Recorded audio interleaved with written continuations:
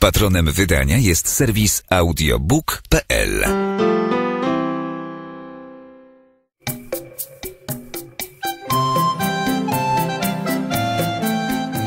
Wydawnictwo Aleksandria przedstawia Kornel Makuszyński Panna z mokrą głową Czyta Anita Sajnuk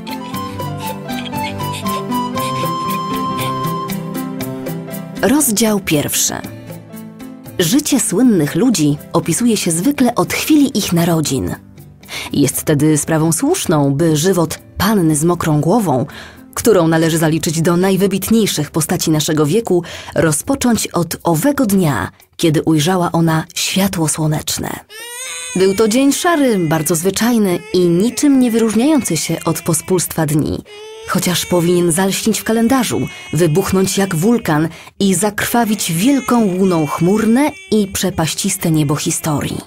Tak się bowiem często działo w bardzo dawnych czasach, że kiedy na świat przychodził ktoś taki, co miał zaważyć na jego losach, jakiś potężny król, wspaniały geniusz, czy też potwór, co miał rozlać morze krwi, dziwne w naturze działy się rzeczy. Ziemia trzęsła się jakby w wielkiej trwodze, padały góry, jakby chciały czołem uderzyć o struchlałe padoły. Morze występowało z brzegów, lwy ryczały na pustyni, wybuchały pożary, a wszystkimi ludźmi wstrząsał tajemniczy dreszcz. Nic podobnego, ku powszechnemu zdumieniu, nie stało się owej chwili, kiedy panna z mokrą głową zjawiła się na świecie. Być może, że natura dlatego nie objawiła swojej oszalałej radości, czy też groźnej trwogi, że w pobliżu miejsca narodzin owego stworzenia nie było ani wulkanu, który by zapłonął, ani oceanu, który by wzniósł fale pod niebo, ani lwa, który by zaryczał. W pobliżu były jedynie konie i krowy, które nie kiwnęłyby ogonem, nawet gdyby się w ich obecności narodził chiński cesarz. I była jedna, jedyna, bardzo z natury smutna koza, tak obojętna wobec wszelkich zdarzeń, że pod tym względem mógł ją prześcignąć jedynie taki arcybałwan, jakim z dziada pradziada zwykł być baran. Jedynym szczególnym zdarzeniem w owym dniu było pojawienie się dwóch wron, które przysiadłszy na dachu pokryły cały dom czarnym krakaniem. Nie można było jednak temu zdarzeniu przypisać historycznego znaczenia, nie zwrócono też na nie większej uwagi. Rozważywszy to wszystko, przyznać należy ze smutkiem, że pannie z mokrą głową stała się krzywda już w pierwszym dniu jej istnienia. Bo jak się to później okaże, godna była małego trzęsienia ziemi. Nic nie zapowiedziało narodzin istoty wyjątkowej. Więcej na świecie czyni się hałasu, kiedy się narodzi ciele o dwóch głowach. Mało zaś kto rozprawiał o tym, że się narodziła dziewczyna, której bujne dzieje postanowiliśmy opisać. Nie zdumiała ludzi nawet tym, czym zasłynął tuż po urodzeniu jeden z francuskich królów, który się narodził z czterema zębami, jak gdyby pragnął od razu zapowiedzieć Paryżowi, że będzie jadał więcej niż najmniej dziesięciu jego poddanych, a zapowiedź sumiennie spełnił.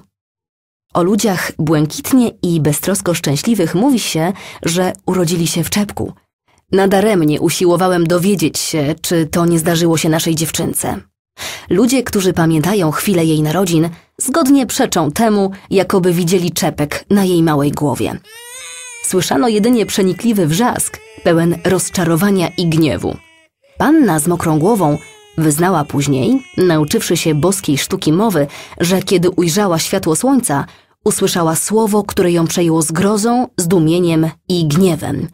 Oznajmiono światu, że narodziła się dziewczynka. Było to tak przeraźliwe dla niej nieszczęście, taka dla jej bujnej i rozwichrzonej duszy niespodzianka, że postanowiła raczej umrzeć od razu, niż być dziewczynką. Ponieważ nikt z obecnych ani nie rozumiał, ani nie mógł pojąć głębi jej rozpaczy, że nie urodziła się chłopcem, gwałtownie utrzymano ją przy życiu.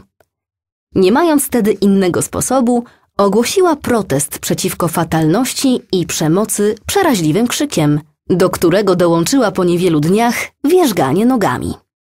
Nieustanny, a żadnym rozumnym argumentem nieuzasadniony wrzask dał jej piastunce sposobność do wygłoszenia zwięzłego proroctwa, które ujęte w formę uroczystą brzmiało tak. Nie daj Boże, ale pyskata to będzie panienka. Ponieważ piastunki mylą się rzadko kiedy, przyszłość młodej istoty zapowiadała się w wysokiej tonacji, groźnej dla wieczornej ciszy świata i dla spokoju spracowanych nocy. Młoda osoba uciszała się czasem. Mądrą uprawiając politykę, doszła do przekonania, że nie warto krzyczeć wtedy przede wszystkim, kiedy nikt nie słyszy, bo po co nadaremnie zdzierać sobie płuca. Tym potężniejsze wydawała z siebie wrzaski, rozsądnie wypoczęta, kiedy zbliżano się do niej. Zauważyła równocześnie, że nie należy drzeć się nieustannie, gdyż nieprzerwana, ciągła awantura traci na sile, staje się nudna i można do niej przyzwyczaić się.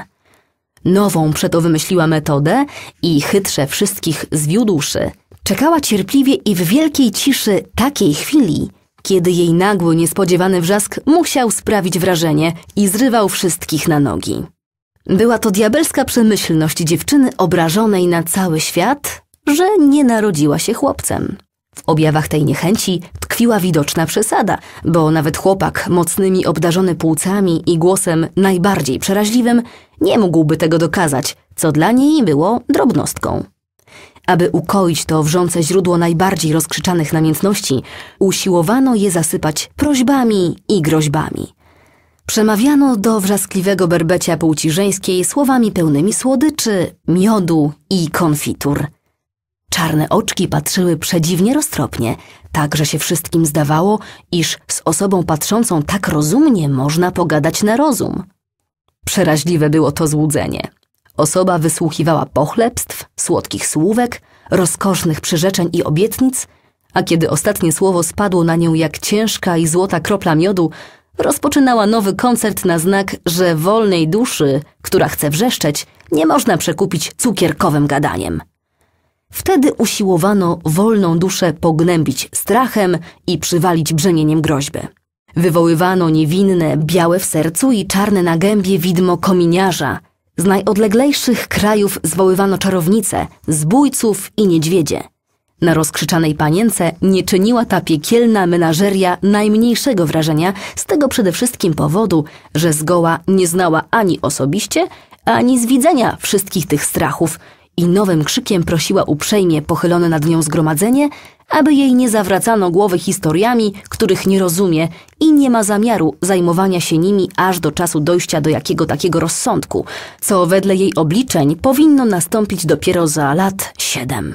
Zrozumiano wreszcie, że ta dziewczyna nie jest zwyczajnym dzieckiem, lecz opinia ta podzielona była na dwa bardzo rozmaite głosy.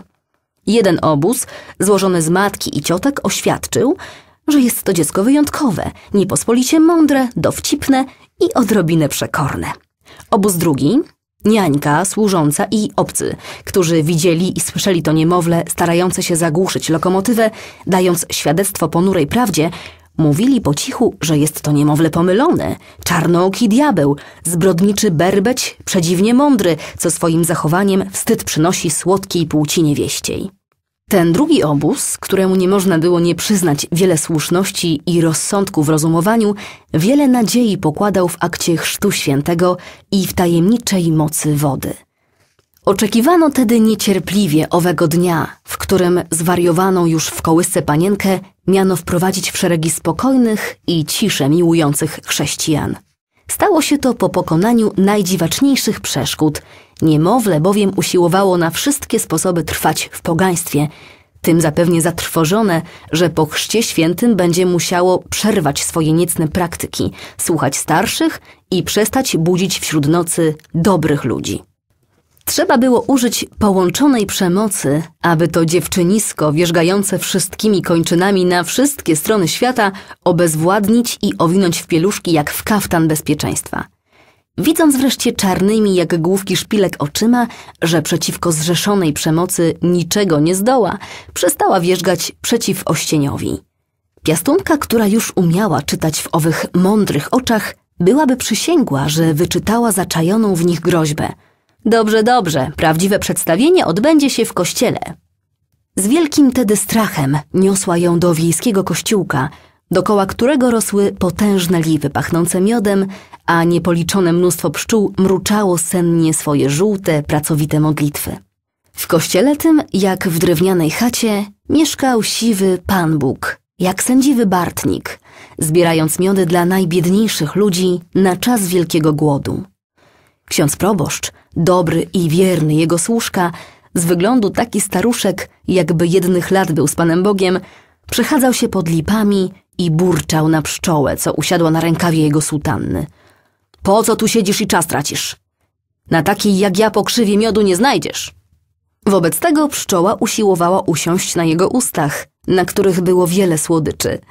Ale ją spędził ręką, gdyż orszak z pobliskiego dworu wchodził właśnie na kościelną ziemię, niosąc diablika, aby go zmienić w anioła.